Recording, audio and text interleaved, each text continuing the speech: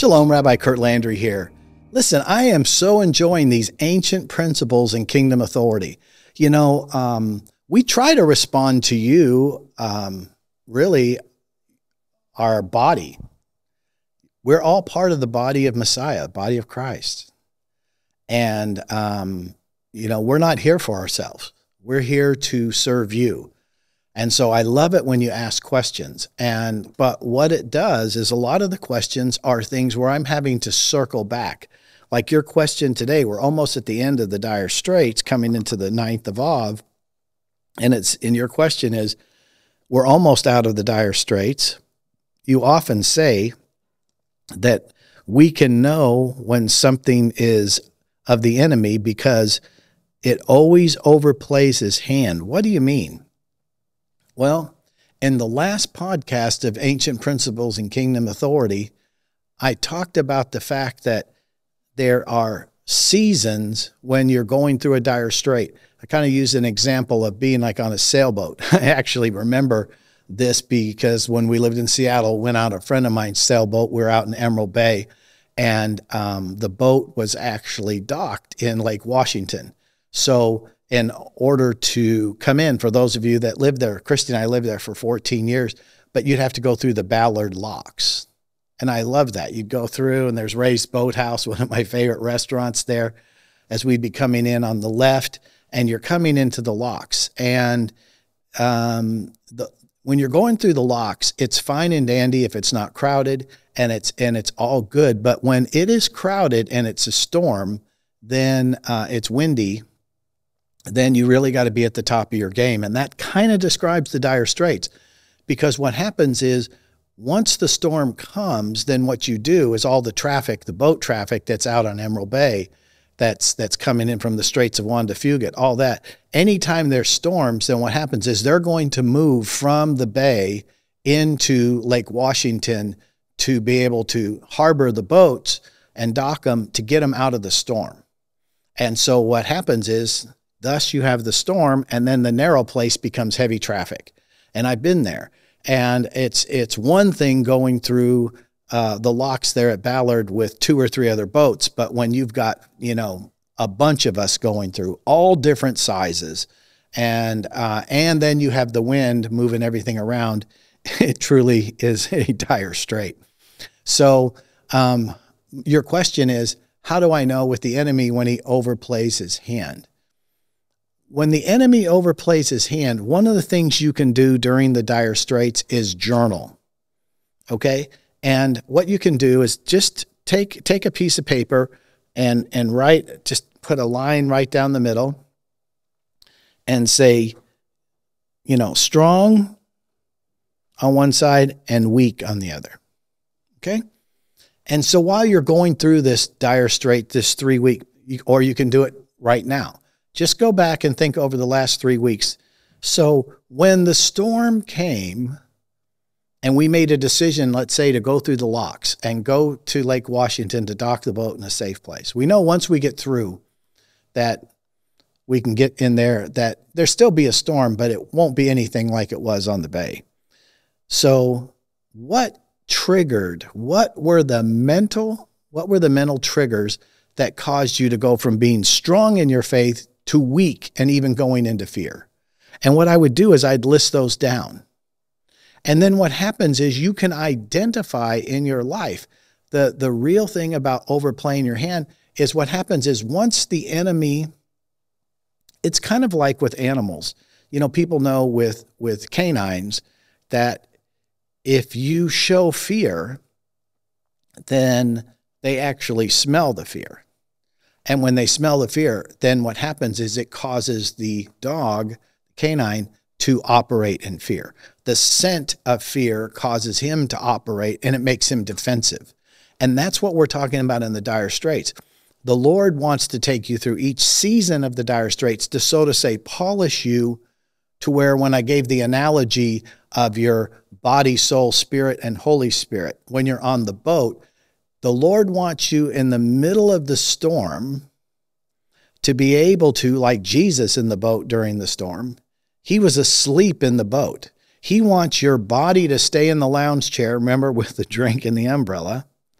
He wants your mind, will, and emotions to be peaceful. He wants your spirit man to trust the Holy Spirit who's steering the boat through the locks and not get fearful and tell the Holy Spirit to sit down and say, I'll handle this because I'm afraid. So the key when the enemy overplays his hand, the enemy will actually, this is a little bit deep, but I want you to follow me. The enemy will actually, what he does is familiar, fearful things will pop up. And when they pop up, you can overcome them, also cut them off, not just you, but your children. Okay? Uh, I'm, I'm going to give you I'm going to give you an example. In uh, let me see how much time I've got. I've got good time. Okay, in our family there is a it, it's a bizarre it's but it's a generational curse. Okay, my wife has it, had it. My wife had it. I've had it, and Megan has had it, had it. And we've even see it try to play out in our grandchildren. And it's a silly thing, but this is how it works. Something special's coming. We're going to celebrate. You may have had this in your life. Okay, uh, uh, I can remember when Megan was little. It was like, okay, she was, I can't remember, seven or eight years old. In fact, we were in Seattle. And uh, at this time, in fact, we we're at a park in Issaquah. Uh, we used to live up on the plateau up above Issaquah. And she wanted to have this special birthday party at the park. And and she wanted all of her friends to come and to get everybody, you know, gathered up. Turns out everybody could come. She was so excited. She had certain games and things that she wanted to do. And us being good parents and me being a daddy, I wanted to say, I'm going to make this happen. Okay. And so here it comes. We get everything set up food, games, everything, the place at the park. Back then, you had to get it kind of reserved. Everything's good to go, except now a torrential rain uh, weather pattern comes into Seattle. Duh. You know, this is her birthday's in April, and it's raining. And and so there was always this pattern that anytime we planned something special for Christy uh, when she was little and older and me and then Megan, that anytime something special, something would come to so quote unquote rain on our parade. And we realized it was spiritual because it happened almost like every time. Like I would have, like I'd win a, a prize or, or, or a goal at work and, um, and something would happen and something would always come to like, just to to something negative to steal the joy of the event. So we're watching this and we we started realizing this is a spirit. Now to get back to our birthday party, Christy and I prayed, and God is our witness. We prayed at that party, and literally there was like a portal above the park where there was clear blue skies and gray clouds everywhere. And literally, we celebrated with those children. and it, uh, it, we prayed, and the rain stopped. And once we cleaned up and left, the rain started to pour down again.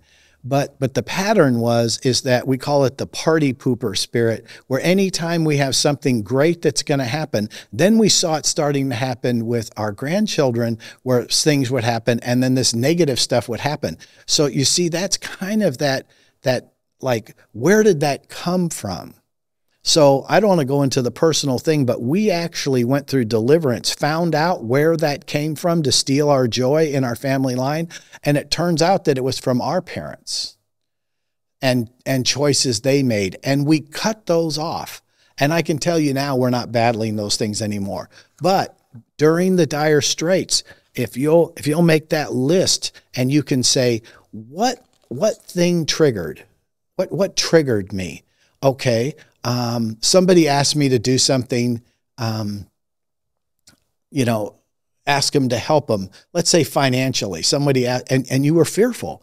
You felt led to do it, but the amount of the help. So, where does that poverty come from? Where did that fear of financial lack come from in your life? Spend time, seek the Lord, pray, pray in tongues, go back in time and find out, and then come out of agreement with it. Come out of agreement with it in Jesus' name you know, find out where where that where that spot is. Where where did that come from? And um, uh, it will really help you. Okay, let's see. Your next question is that was the question of overplaying his hand.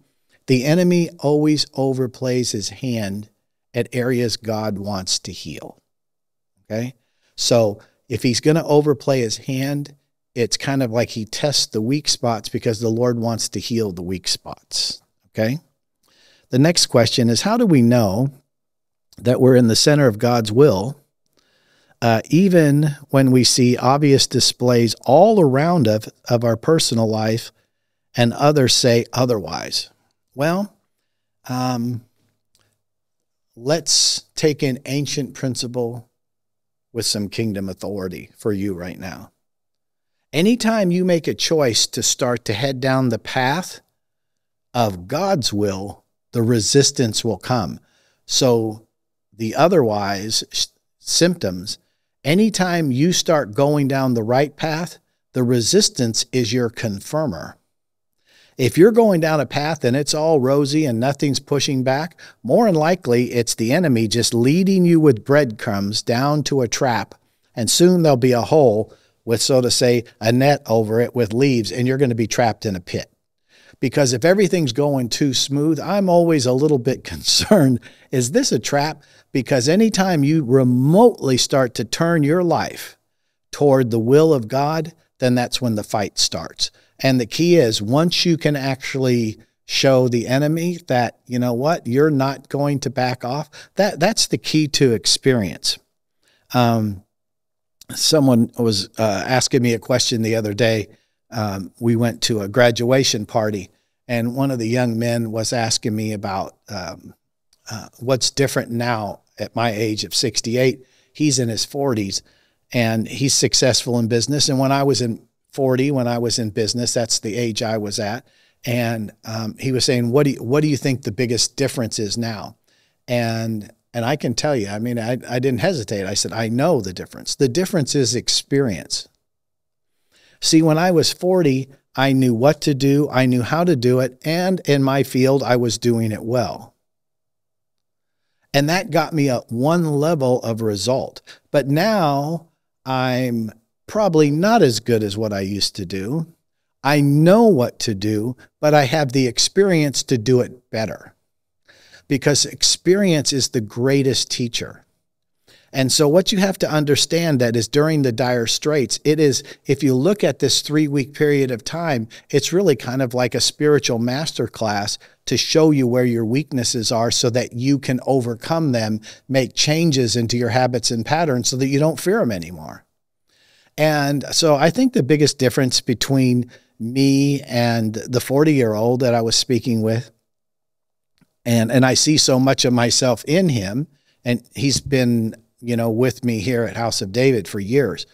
The, the difference is he doesn't have the experience yet. He will. But he doesn't have the experience I have at 68 where I just don't sweat the small stuff like I did at 40 at 40, my mind, will, and emotion could had I had a great imagination of all the destruction and the crazy and the bizarre stuff that could happen to stop what you know I was doing, even though I was born again and had faith. But at 68, I just don't entertain. I don't know if I've lost energy or what, but I just don't entertain those thoughts. It's just like, eh, it's not going to happen. Uh, and all the bizarre, weird stuff is still going to keep coming at you it never stops. But if you're going to overcome, you need to know your whole goal, if we go back to the boat analogy, is to let the Holy Spirit with the tiller, let my spirit man trust in that, let my soul stay in the lounge chair, and to be able to follow after him. That, that's really, really the key. Let's see, I've got just a few minutes here. I'll have one more question how faithful is our God and can we put can we put him into remembrance of this faithfulness so that we can overcome the spirit of fear and confusion that was tied to keeping us stuck or tied in the old season? Absolutely. First of all, the only way to learn how to trust God is to have a testimony.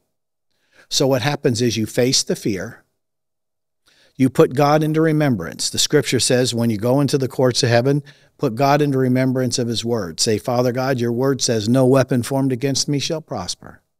Every tongue speaking against me from the outside, in my head, anywhere that speaks against your will, I condemn it. That's the inheritance of the saints. I'm a saint. That's my inheritance. I cut it off. I choose to take baby steps forward. I'm going to crawl, walk, run into my future. And Lord, go with me, hold my hand, guide me, teach me, because I have learned and decreed, may it be written in the courts of heaven this day, that I choose to follow you, not my own will, but let thine will be done. In Yeshua's name. Well, God bless you. So good to have you on Ancient Principles and Kingdom Authority, and look forward to seeing you in the next podcast. Shalom.